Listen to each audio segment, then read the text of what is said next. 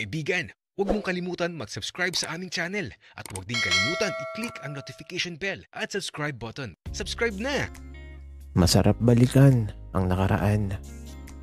Kasabay sa bawat pagpatak ng ulan kung saan unti-unti mong ginugunita ang masasayang sandali sa buhay mo na nagpapatatag sa iyo kahit tila ba ipinagkait ng mundo ang kaligayahan mo.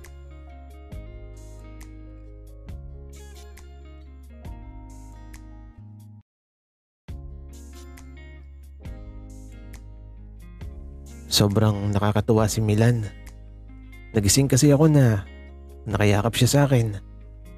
Naalala ko tuloy si kuya. Kasi kapag malamig ang panahon, nako, niyayakap ako nun kapag uh, natutulog na kami. Namimiss ko tuloy si kuya. Mag-iisang taon na din pala. Simula nung kunin siya ng dagat. At kaarawan ko na din pala bukas. Pero okay lang. Alam ko naman na binabantayan ako ni kuya palagi. At dahil maaga ako nagising, eto, madilim pa din sa labas. Maaga din na nagising si nanay kasi magtitinda pa siya sa talipapa. Ako naman, eto, magbubuhat muna ng mga isda.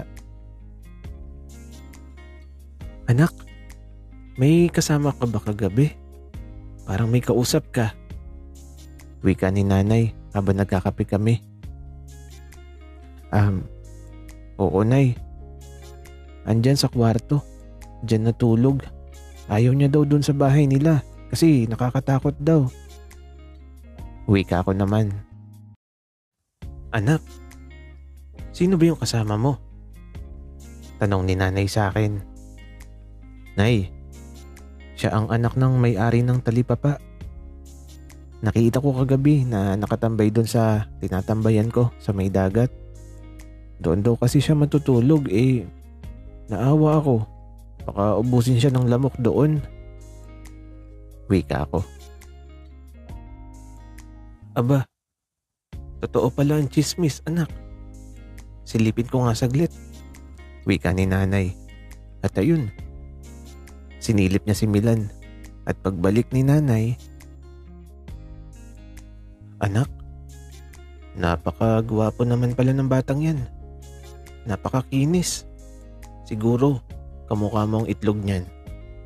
Wika ni nanay. nanay naman eh. Sunog lang ako pero di ako mukhang itlog. Wika ko. Biro lang anak. Ang pogi mo kaya? O siya, mauna na ako sa talipapa. At ikaw naman, pagkatapos mong magbuhat ng isda, umuwi ka agad dito sa bahay. Baka kasi hanapin ka ng kaibigan mo. Wika ni nanay.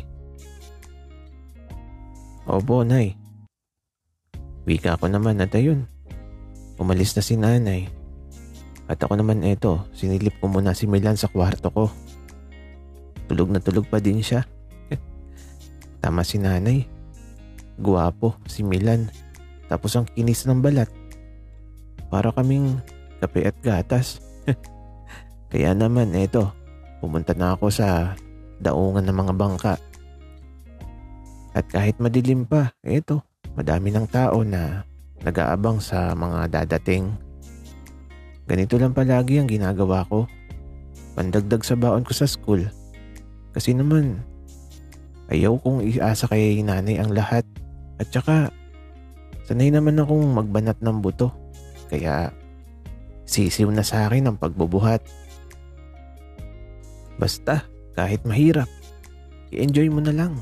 Kasi, kung susuko ka, paano ka magtatagumpay? Parang pagmamahal. Kapag sumuko ka, mawawala siya sa'yo. Dahil sumuko ka, kahit may pag-asa ka pa talaga. At bago pa tuluyang magliwanag ang paligid, eto na. Pauwi na ako. Nakakapagod pero okay lang.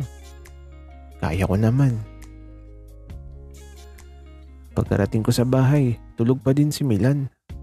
Parang bata eh. Nakakatuwa. Kasi naman yung daliri niya sa kamay, eh, subo-subo niya. Parang baby. Kaya naman, nagluto na muna ako ng pagkain namin para pagising niya eh, kakain na lang siya. Kaso, ang sarap pa din ng tulog ni Milan. Tapos na ako magluto eh, tulog pa din. Kaya eto, naligo na muna ako. Sobrang lamig ng tubig. Kinaya ko kahit malamig. At matapos ako, nagmadali na ako magbihis sa silid ko. Tulog pa din si Milan. Kaya dito na ako naghubo. Nagmadali nga akong isuot yung brief ko eh. At paglingon ko kay Milan, eto gising na siya. Nahiya tuloy ako. Nakita niya kasi yung pet ko. Pagkagising nga niya, eto, diretso kain na agad tapos sabay na kami na umalis sa bahay. Buti na lang at madadaanan ko yung bahay nila. Yun nga lang, pagkarating namin doon sa bahay nila, parang di sigurado si Milan kung doon siya nakatira. eh ako, sigurado ako. Kaya ayun, iniwan ko na siya. Kakaiba talaga si Milan. Madami siyang hindi alam. Kaya ako na lang siguro yung magsasabi sa kanya. At saka, bakit ganito? Parang ansay ako na nakilala ko siya. Parang magaan yung loob ko sa kanya. Tapos parang gusto ko na makasama ulit siya. Siguro, namimiss ko lang si kuya kaya ganito yung nararamdaman ko kay Milan. Kaya ito habang nasa klase ako, di mawala sa isip ko si Milan. Ano kaya ang ginagawa niya ngayon? At si Kiray, nako, matutuwa yun kapag nakita niya si Milan. Laglag pante nun. kaya naman sa patuloy na paglipas ng mga oras, sa wakas, tapos na ang klase ko sa buong araw. May isang guro na naman kasi na tinatamad ng magturo. si Sir Bard Tulugin. Lagi kasing tulog yan eh.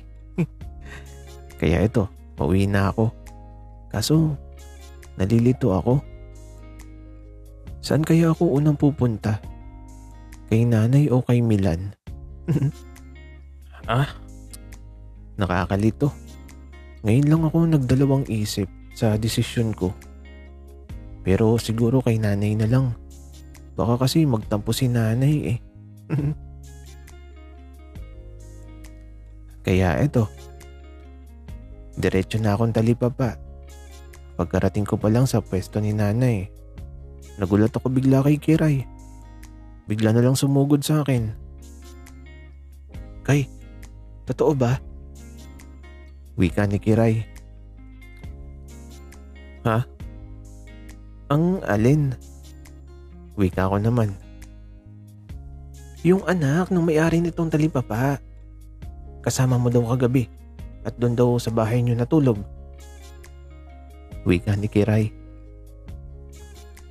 Ah, oo. Chismosa ka talaga, Kiray. Wika ako. Eh, sabi ng nanay mo eh. At saka, guwapo daw. Wika ni Kiray.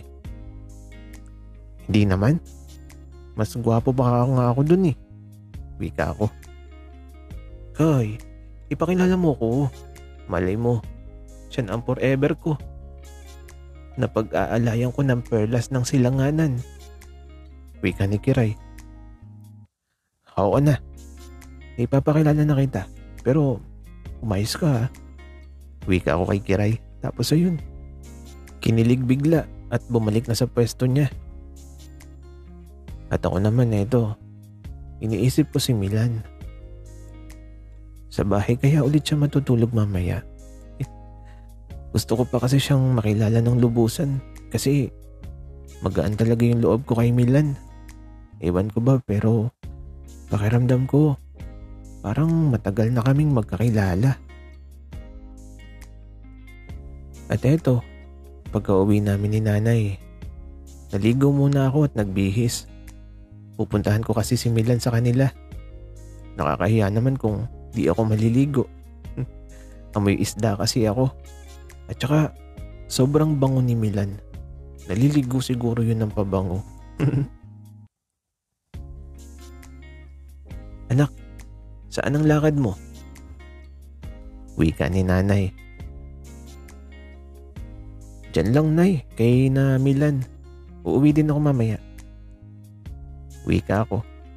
Di na nagtanong si nanay kaya eto. Dumiretso na ako sa labas. Pagkalabas ko ng pintuan, may bigla na lang nang gulat sa akin sa labas. Napasigaw talaga ako sa gulat. At eto, pagtingin ko, si Milan pala.